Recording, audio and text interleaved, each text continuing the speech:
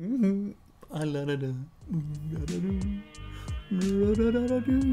So I think I might have a fun one today. This showed up. It's called the Hip Shot Dot, and it was sent to me from the folks over at Live with YouTube Gaming. They wanted to start sending me a couple of cool gaming related peripherals, accessories. I have no idea what to expect. It's called the Hip Shot Dot a red dot sight attachment for first-person shooter games. Compatible with Xbox One, PS4, Xbox 360, PS3, PC, Wii U, Call of Duty, Battlefield, Titanfall, and more. It's got a USB-powered LED, which sits on your display over top of your normal sights. Easily attach and detach from your television, 72 inch USB power cord. All right. You actually stick that little suction cup right to the TV and they claim you can aim more quickly, improve your accuracy, enhance reaction time, to feel like the real deal.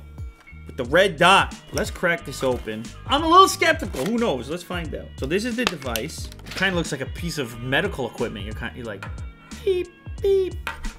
Anyway, you can power this thing off any USB power. It doesn't have to be directly from your console. And then this little thing, here I'm gonna show you, this just suctions right on, right like this, right to your eyeball. No, okay, cool. Wow, that, that's actually on there right now.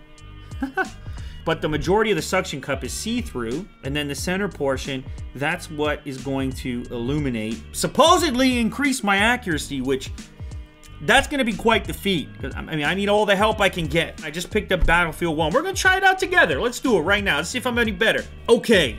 Got myself a monitor, got the PS4, and I've got Battlefield 1 booted up. I'm at the very beginning of the game right now. I haven't played it yet. Looks pretty intense so far. I'm gonna take this little device and plug it into the PS4 for power. You can see this lights up too. We'll see if Jack can pick that up. Can you pick that up? So what you're supposed to do to set this up, go in game. They're firing at you right now. Zoom in, and you want this little dot to be right at your crosshairs. The second one just exists for tension. Have that out of the way down here. Now watch what I'm talking about. When I zoom in, see that? How the dot becomes the aim. Even though I'm only in World War One, I, I got the red dot sight. Oh, that is a flamethrower. Holy. Oh, I'm on fire. I'm on fire right now. Oh. well, that didn't last long.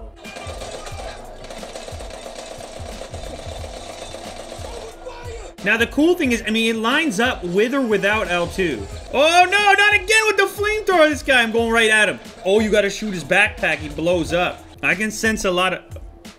There's a lot of dying that's going to happen here. Well, it is World War One. I. I mean, let's be honest. Bye-bye. Whose tank is that? That's probably... Oh, oh.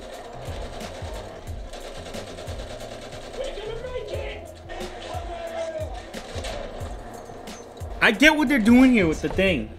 You're playing all the different roles of different guys within the military is what's going on. So what can I say? Like, I think it actually kind of does the job. Can you guys can pick it up there. It is called the hip shot dot. I think the name is fitting because where this really stands to improve your accuracy is when you're firing without zooming in, without having the crosshairs. Because then it becomes really obvious to you where they would be, but you can fire from the hip. Hip shot dot. I don't know, alright? Listen, you're not sticking this thing on your TV and going straight MLG. It's not happening, alright? There's no easy way. You gotta put in the time, you gotta put in the practice, with or without the hip shot dot. Will you get an extra kill? I don't know, maybe. But if you wanna step your game up to the highest levels, it's time to grab that controller, keyboard, and mouse, put in those hours with those Cheetos all over your hands. Because you're special like that.